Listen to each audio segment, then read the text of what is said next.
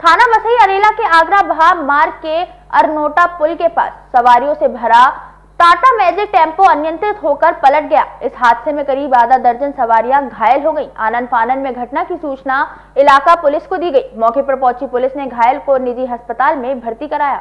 शुक्रवार देर रात थाना बसई अरेला के क्षेत्र के आगरा बहा मार्ग के अरनोटा पुल के पास बेकाबू रफ्तार से दौड़ रहा टाटा मैजिक टेंपो अनियंत्रित होकर पलट गया। टाटा मैजिक टेंपो में करीब आधा दर्जन सवारियाँ बैठी थी। ये टेंपो टावा जसवंत नगर से यात्रियों को लेकर दिल्ली जा रहा था। एक बड़ा हादसा होने से टल गया। टेंपो को पलट रहा देख रागीरों ने घटना की जानकारी इलाकाई पुलिस को दी। सूचना मिलते ही पुलिस मौके पर पहुँच गई।